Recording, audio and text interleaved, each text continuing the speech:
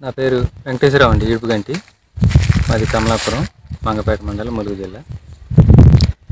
నేను ఈ కళా సీడ్స్ వాళ్ళది ఎయిట్ జీరో సెవెన్ శాంపిల్ ఇచ్చారండి వేసాను. తొలికోత కోసాము.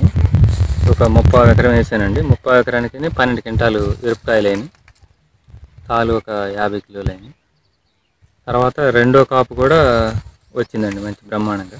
కోత కోసినాక. చూడండి. చూడండి కాపు చూడండి.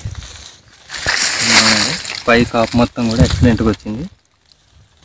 తొలి కాపు కూడా బాగుందండి. కలర్ అది మంచి నిండు కలర్ వచ్చి మంచి నిండు ఎరుపు వచ్చి బాగా వచ్చిందండి. ఈ రెండో కాపు కూడా ఎక్సలెంట్గా వచ్చిందండి పైన. దీంట్లో ఒక మంచి గుణం ఏంటంటే చెట్టు చాలా గట్టి బలమైన చెట్టు అండి. పడిపోవటం లేదు మంచిగా. మంచిగా నిలబడి గట్టిగా ఉంటుంది. దానివల్ల మనకి సరుకు డ్యామేజ్ తక్కువ ఉంటుంది కాలుగా తక్కువ వస్తుంది. కోత కోతకు కూడా అనుకూలంగా ఉంటుంది. సైజు కూడా మామూలు త్రీ ఫోర్ వన్తో పోల్చుకుంటే పెద్ద సైజు.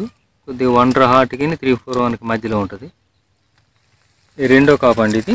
రెండో కాపు కూడా పర్వాలేదు. త్రీ ఫోర్ వన్ మొదటి కాపు సైజు వచ్చింది ఇది రెండవది బాగుందండి ఇది.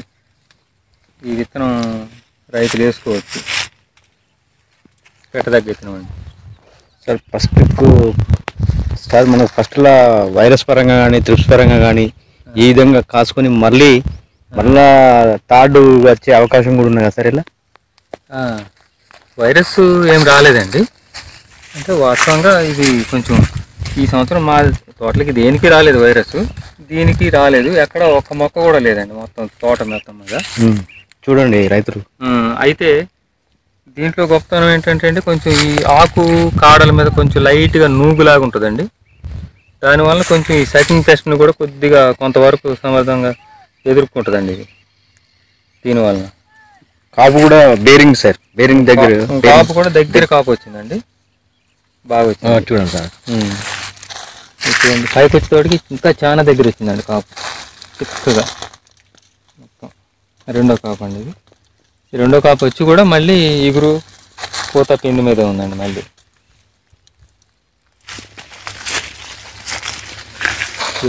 రైతులు ధైర్యం చేసుకోవచ్చు అండి